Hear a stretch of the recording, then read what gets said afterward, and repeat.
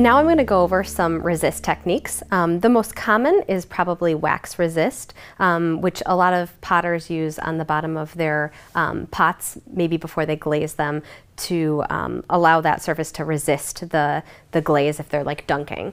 Um, but it's also really great for surface decoration. So I have an example here of Andy Shaw's um, older work, and he uses wax resist techniques to get these patterns on his pieces.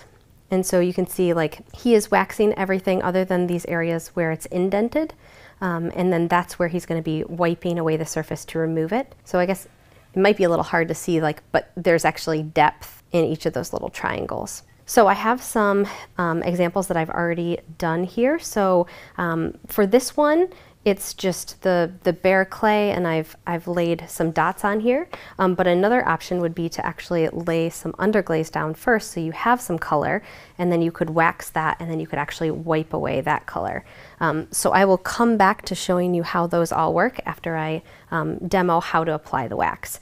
So I have a piece of clay that's pretty wet, um, but it doesn't need to be. It could be anywhere from wet to leather hard and it'll work. Um, and I'm going to go ahead and apply some wax got my wax. Um, and there are a lot of different kinds of wax waxes out there. Um, I found that this wax resist kind of is a standard wax resist from Amaco works great.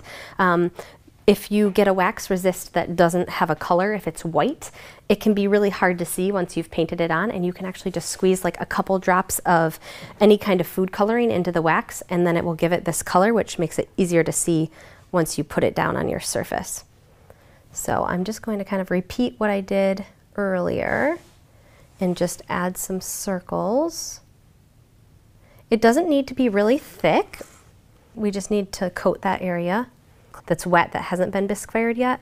You can usually just scratch it off the surface. All right, there we go. So now I have my wax on this piece and I'm going to go ahead and just set this aside um, you know, if you're actually doing this um, in like a class period, I would say it's probably best to do your wax design and actually leave that um, aside to dry for the next class period.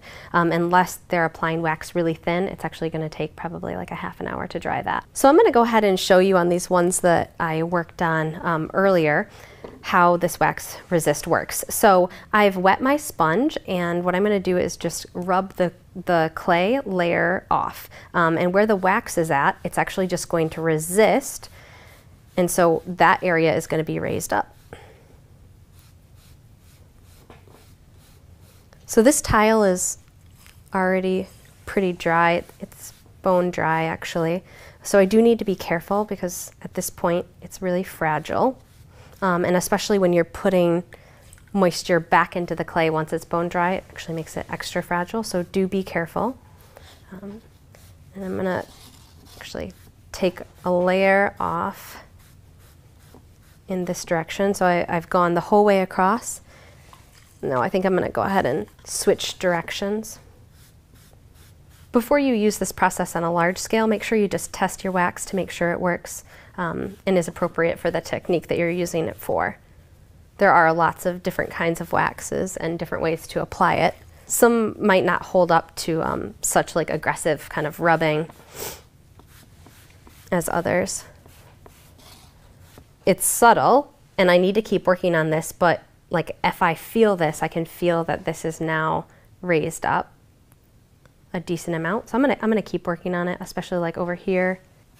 So with, with this wax resist technique, like um, before we bisque it, we're never really gonna access that um, area underneath the wax. But once we put this into the bisque kiln um, and it comes back out, the wax will actually be gone. And so it'll just be a raised surface, which is the goal here.